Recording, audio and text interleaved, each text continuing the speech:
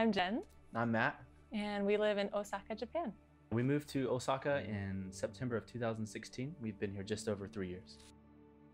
When I was a teenager, um, I was reading the Bible for the first time and, and really felt like um, I was understanding that Jesus cared about the nations.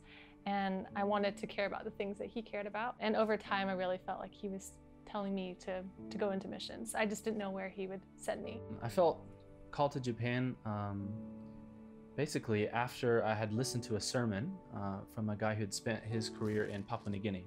So he was talking about um, biblical mandate to reach the unreached. And, uh, and I thought, wow, um, I've never asked God if I should be a missionary or not. Maybe I should give him the option.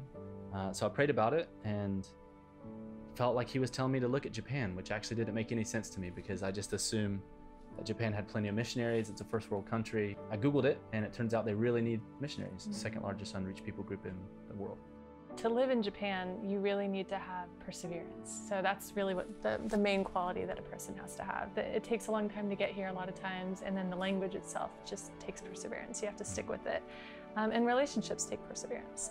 Um, but once you can get deep enough with people into that relationship, you can really have some, some good fruit from that.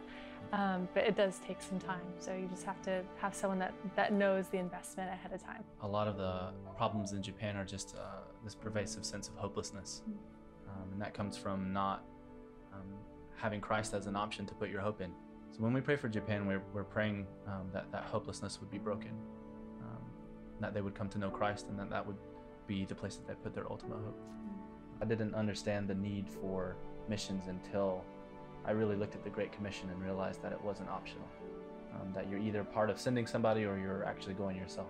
I think it just is a willing heart. Um, asking the Lord, like, what do you have for me? And wherever you want me to go and whatever you want me to do, my life is yours. So, so lead me and, and, and take me where you want to take me.